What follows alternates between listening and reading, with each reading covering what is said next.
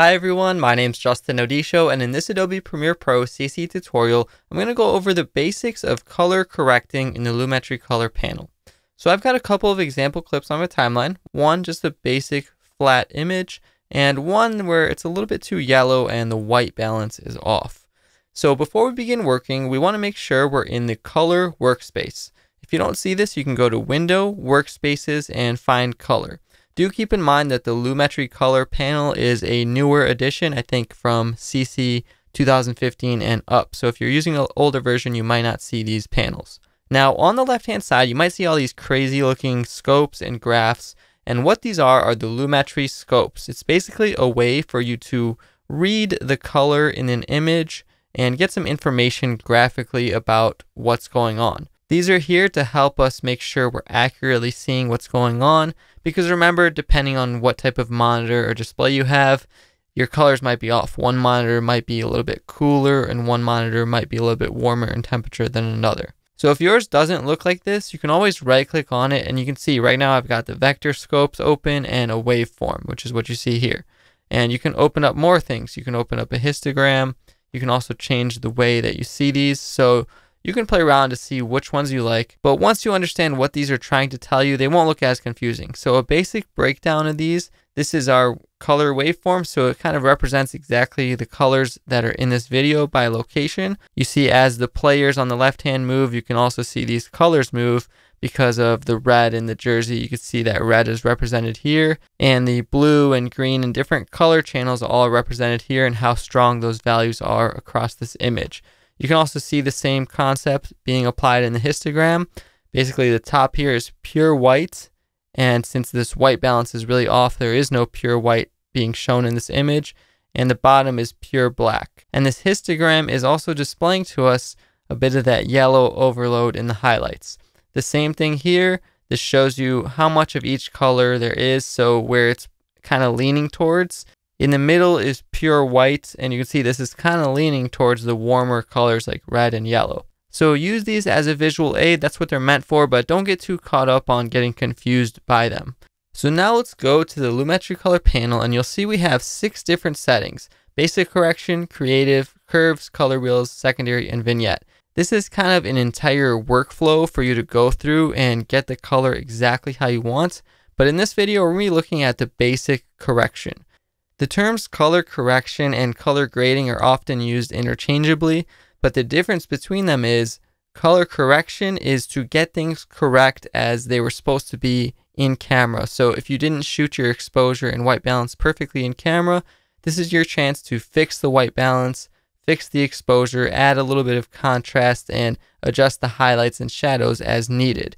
It's not really a place for you to get creative with the colors, that's why they have this whole creative section where you can apply different preset looks and you can also go into the curve section and color wheels and all that. But I go over all of these creative options in a whole separate video, which I'll link at the end. So let's open up our color correction. So input LUT or lookup table is just a way for you to apply a preset adjustment. So it comes built in with a few, and these are based on different cameras but these will just apply a preset amount of contrast and exposure and whatnot. Oftentimes it won't look the best unless you're actually using a good starting point as they were meant for. So this image is actually pretty good on the white balance. Let's go to that hockey footage and this is way too warm. So what you can do is adjust the temperature slider to add a little bit of coolness to it. And you can also adjust the tint. You can see here it's still a little bit too green now. So I can pull it more towards the purple section and get a nice white balance. And here's where you can use the color scopes to make sure that everything's aligning. So when I pull to green, you see how everything splits. But when I pull it together, we actually get a white line in this waveform and you actually see the colors pull closer together here.